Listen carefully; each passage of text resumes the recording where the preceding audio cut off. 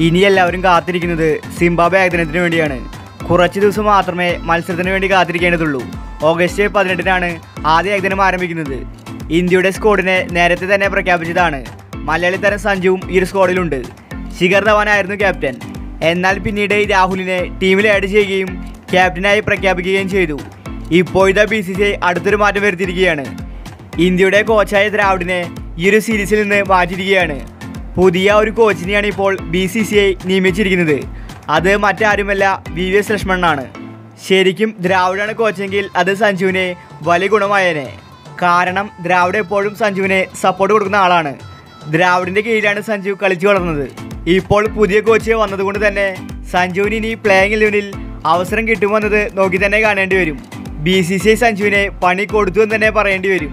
Senior താരങ്ങൾ ഇല്ലാത്തതുകൊണ്ട് സഞ്ജുവിനെ പ്ലേയിങ് ഇലവനിൽ അവസരം കിട്ടുമെന്ന് പ്രതീക്ഷിച്ചിരിക്കുമ്പോഴാണ് രാഹുലിനെ പെട്ടെന്ന് ടീമിലേക്ക് ആഡ് ചെയ്തത്.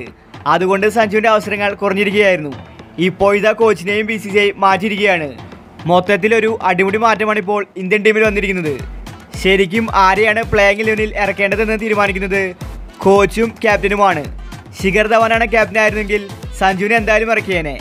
അതുപോലെ ദ്രാവിഡിനും സഞ്ജുവിന് ഇഷ്ടമാണ്.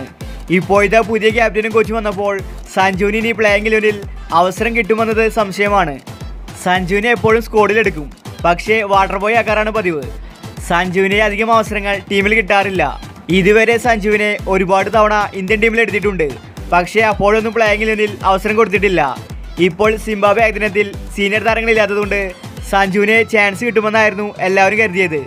രാഹുൽ ഇപ്പോൾ ടീമിലേക്ക് വന്നതുകൊണ്ട് തന്നെ ഒരു അധിക ബാറ്റ്സ്മാൻ ആയിരിക്കുകയാണ്. പോരാത്തതിന് ദീപഹൂഡ ഹൂഡ ഇഷാൻ കിഷൻ ഋതുരാജ് ഗേക്വാദ് രാഹുൽ ത്രിപാഠി ഗില്ലെ രാഹുൽ ശിഖർ ധവാൻ തുടങ്ങി ഒട്ടനവധി താരങ്ങളുണ്ട്. അതുകൊണ്ട് സഞ്ജുവിന് അവസരം കിട്ടുമെന്നത് നോക്കി തന്നെ കാണേണ്ടി വരും. ഇപ്പോൾ ബി സി സി ഐ ദ്രാവിഡിനെ മാറ്റിയതും സഞ്ജുവിനെ വലിയൊരു പണിയായിരിക്കുകയാണ്.